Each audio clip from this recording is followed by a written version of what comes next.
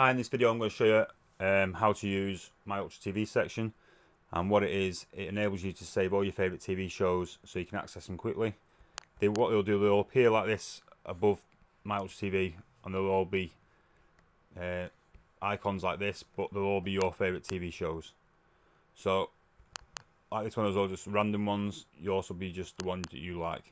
So what you do is, first of all you need to create an account with uh, Trakt, which is here so go to this website, it's trakt.tv um, and click on this here, join Trakt for free.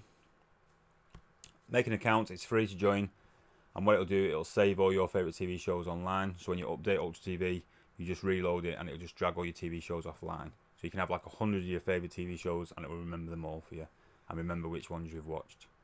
Okay, so what you need to do, once you've created your account, you need to go back to um, Ultra TV click on My Ultra TV here, you'll get this box.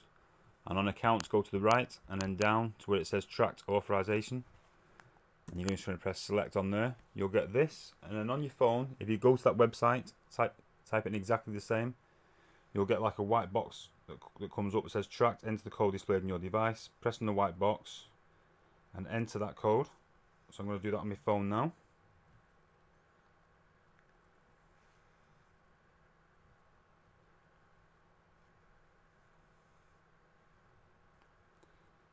And then press continue.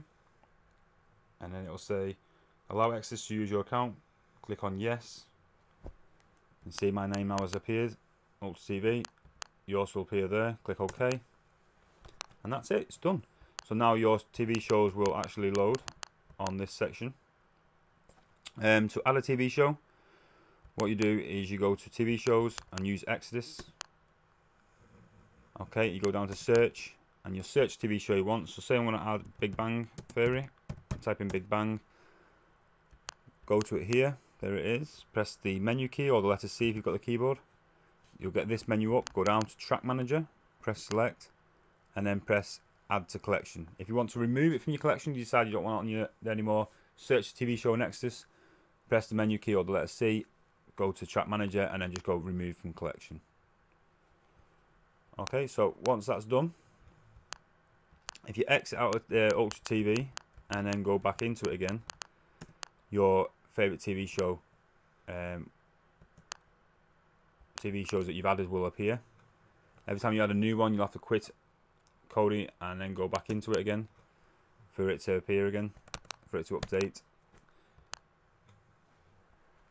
And then when you want to watch TV shows, you just go to My Ultra TV, My Ultra TV, uh, this section here, You'll see mine should appear now. There you go.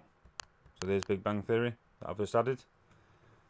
Uh, you click on it and then you'll get a list straight away of all the seasons and you can click on that and then all the TV shows. And it'll have a little tick here once you've watched it so you know you've watched it. Alright, thank you very much for watching and goodbye.